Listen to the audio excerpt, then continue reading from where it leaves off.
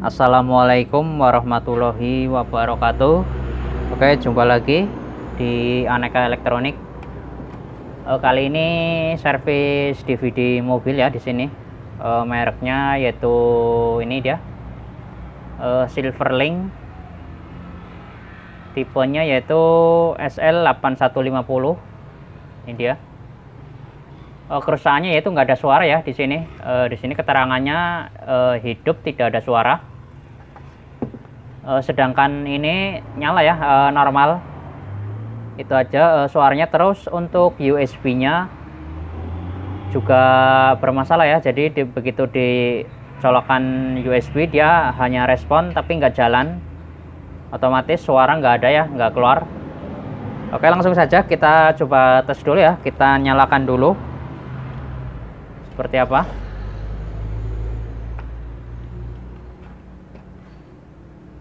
oke ini untuk positifnya. Ini negatif.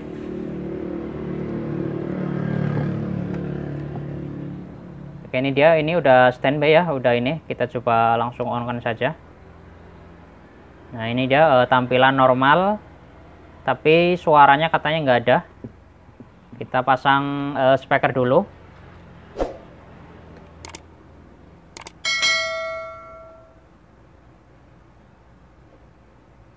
dia udah tak pasang.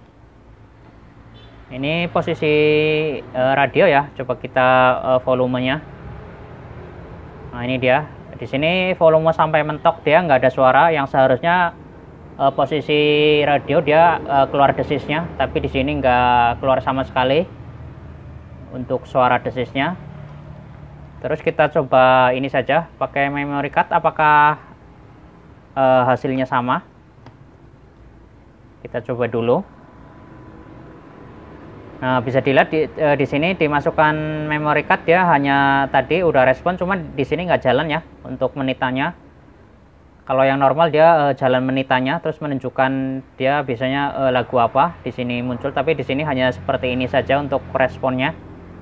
Yang artinya berarti memang bermasalah juga untuk bagian e, USB oke untuk langkah pertama dengan keluhan nggak ada suara ya. Kita coba cek saja dulu di sini untuk uh, di kabel speaker apakah ada tegangan atau tidak untuk memastikan bahwa IC-nya kena atau tidak ya. Kita ini saja. Uh, pakai multitasker di sini uh, kita coba di skala 10 volt saja uh, DC ya. Untuk ground kita ambil dari sini dari masa atau dari body ya. Coba kita nah di sini Nah, kalau yang normal dia uh, keluar tegangan. Nah, di sini dia normal yang artinya kemungkinan besar untuk IC audionya, IC power amplinya nggak ada masalah di sini. Bisa dilihat ya. Udah on dia. Di tiap-tiap channel uh, keluar sekitar 6 volt di sini. Yang artinya uh, power ampli atau IC bagian power amplinya audionya normal Oke, langkah selanjutnya kita coba bongkar saja. Nanti coba kita cek eh, tegangan-tegangannya di situ apakah normal semua ya. Terus nanti kita cek juga untuk memastikan apakah IC-nya yang bermasalah atau bukan. Karena untuk kasus eh, nggak ada suara bisa banyak penyebab atau pengatur kontrol eh, bus dribble-nya bisa juga dari situ. Atau memang dari MPEG-nya sendiri yang bermasalah bisa juga tapi kalau dilihat dari tadi hasil ukur untuk tiap-tiap kabel speaker uh, sepertinya nggak ada masalah. Oke kita langsung saja kita bongkar dulu. Uh, tipnya ya.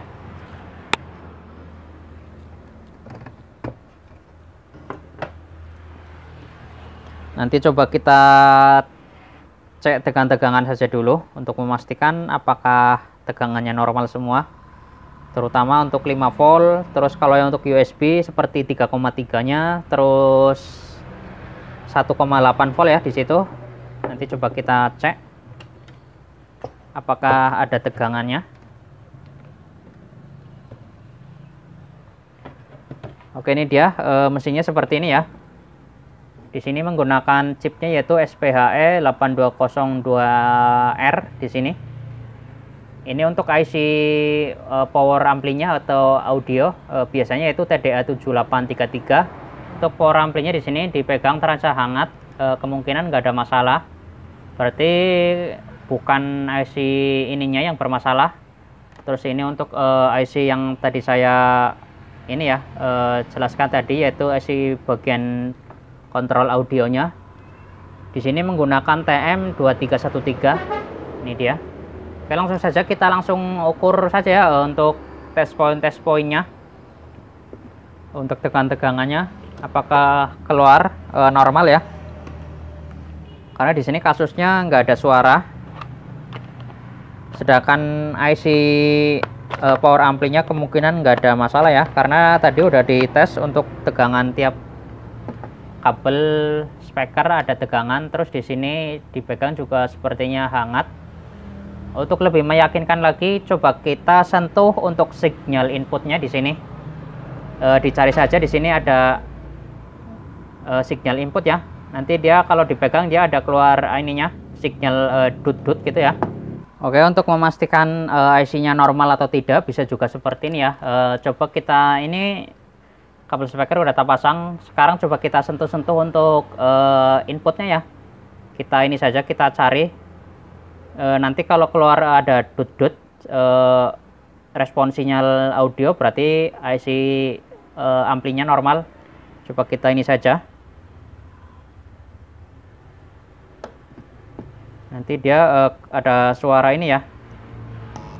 Nah ini dia.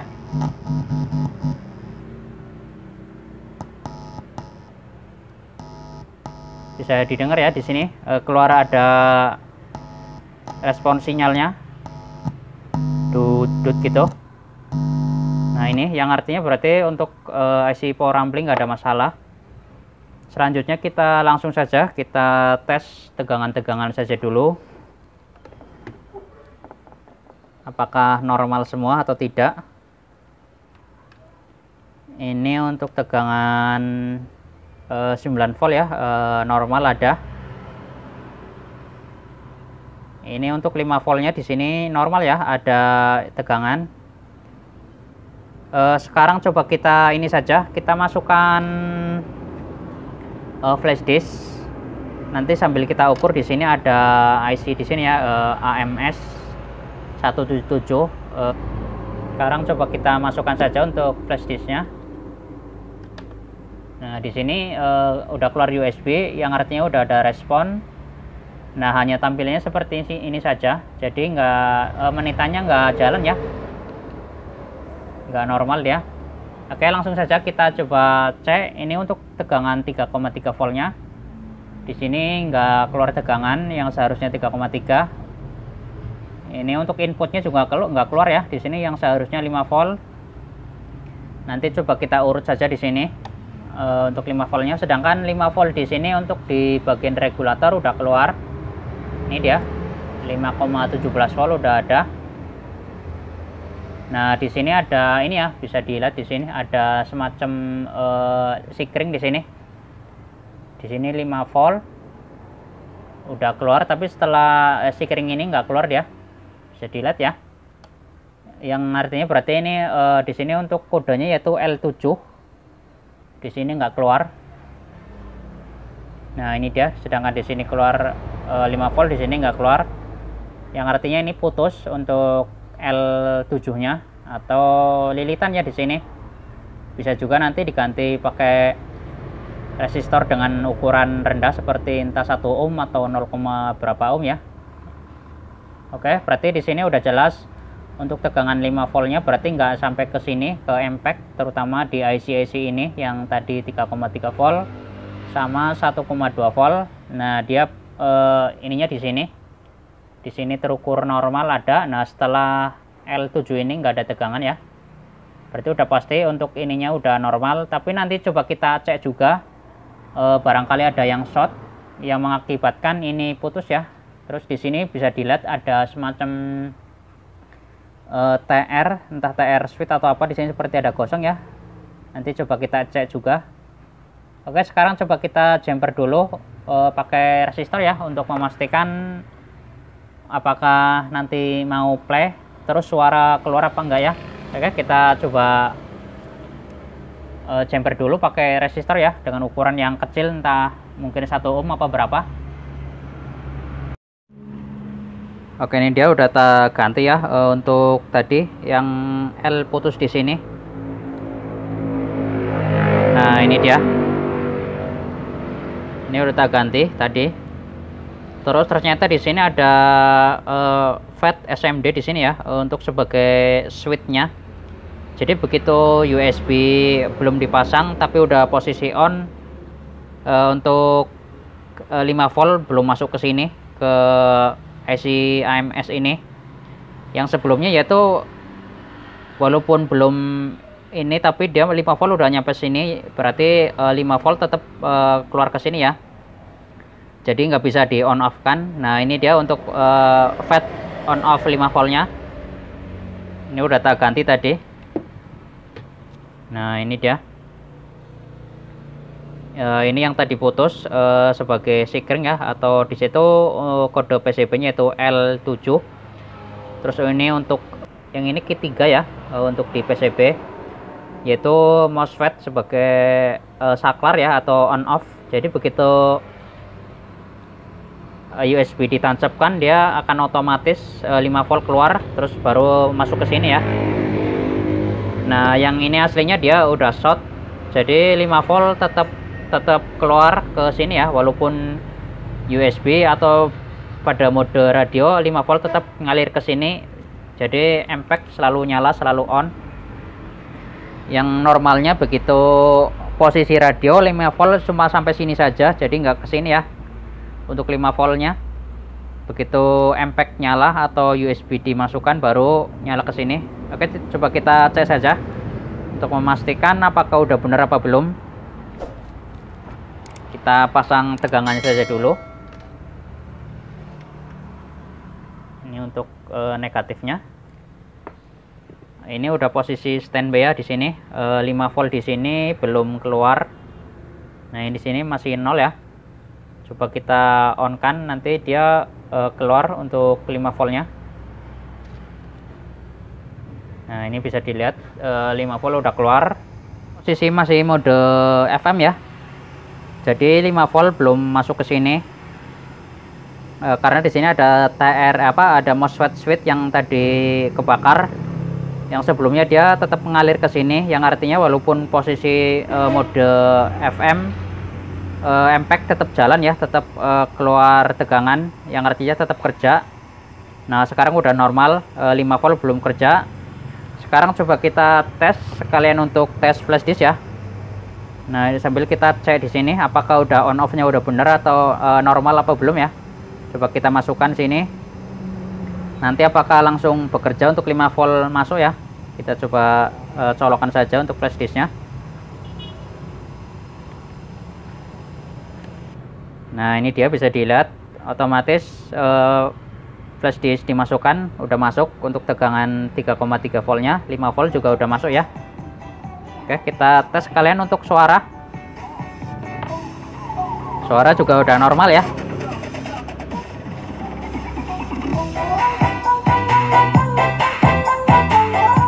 Jadi untuk uh, yang suara hilang uh, belum tentu dari IC-nya ya.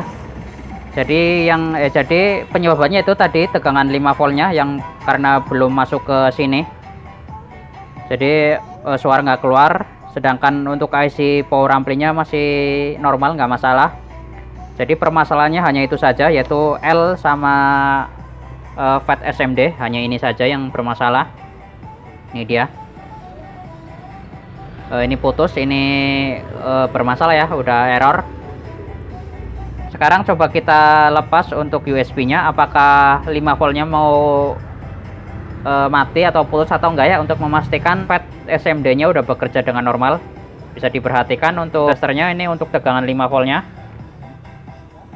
Uh, sini keluar coba kita cabut apakah nanti mati atau nanti terputus atau enggak untuk tegangan 5 voltnya kita cabut. Nah, bisa dilihat. Jadi yang normal seperti itu bila di mode radio otomatis 5 volt terputus terus coba kita masukkan lagi otomatis keluar lagi ya berarti udah normal nah itu saja terus yang untuk suara yang tadi yang bermasalah ternyata 5 voltnya bukan si uh, power amplinya Oke, itu saja. Uh, Mudah-mudahan bermanfaat. Assalamualaikum warahmatullahi wabarakatuh.